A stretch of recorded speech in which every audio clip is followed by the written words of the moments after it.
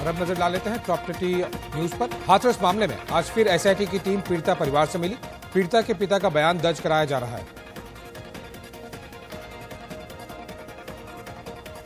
हाथरस में आज राजनीतिक दौरा।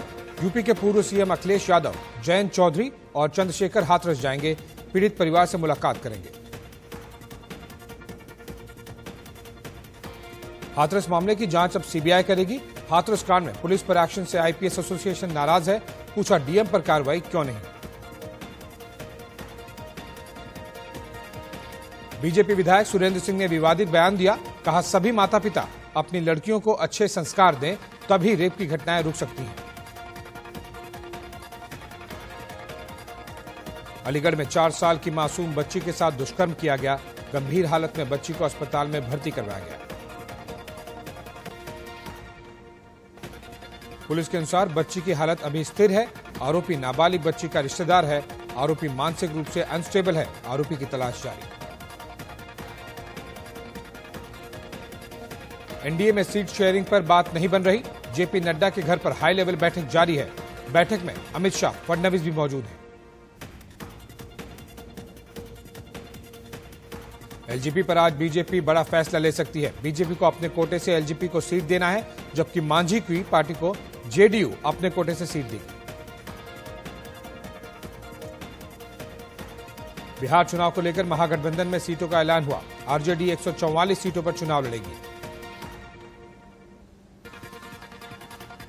कांग्रेस को महागठबंधन में 70 सीटें मिली, जबकि लेफ़्ट पार्टियों को भी 29 सीट मिली।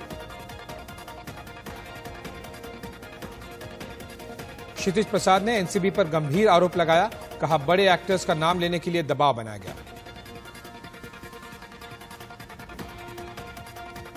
क्षितिज ने कहा, पहले उन्हें करण जौहर का नाम लेने के लिए मजबूर किया गया और फिर रणवीर अर्जुन रामपाल का नाम लेने के लिए दबाव बनाया गया। सुशांत और ड्रग्स मामले में फ़िल्म अभिनेता अक्षय कुमार ने खुलकर अपनी बात रखी। कहा, ड्रग्स की बात झूठी नहीं, लेकिन इंडस्ट्री को बदनाम करना गलत है। बॉलीवुड में ड्रग्स सिंडिकेट की चल रही जाँच के बीच कोरोना ने दस्तक दी। एनसीबी के deputy director KPS Malhotra corona संक्रमित हो गए। कोरोना रिपोर्ट पॉजिटिव आने के बाद केपीएस मल्होत्रा मुंबई से दिल्ली लौट आए। केपीएस मल्होत्रा ने भी दीपिका से पूछताछ की थी। देशभर में कोरोना के अब तक पैंसठ लाख उनचास हज़ार तीन सौ चौहत्तर केस सामने आए, जबकि नौ लाख सैंतीस हज़ार छह सौ पच्चीस एक्टिव केस है। भारत में सबसे पहले कोरोना वैक्सीन किसे लगेगी? आज संडे संवाद में स्वास्थ्य मंत्री हर्षवर्धन जवाब देंगे। ऑक्सफोर्ड यूनिवर्सिटी के कोरोना टीका को दिसंबर के अंत तक मंजूरी मिल सकती है, जिसके बाद छह महीने के अंदर टीकाकरण शुरू हो जाएगा। जम्मू कश्मीर में पाकिस्तान की नापाक हरकत जारी है। पुंछ में पाकिस्तान ने फिर सीज फायर का उल्लंघन किया। भारतीय सेना ने मुँह तोड़ जवाब दिया। आईपीएल तेरह में आज दो मुकाबले खेले जाएँगे। पहला मैच हैदराबाद और मुंबई के बीच होगा, जबकि दूसरा मुकाबला पंजाब और चेन्नई के बीच खेला जाएगा।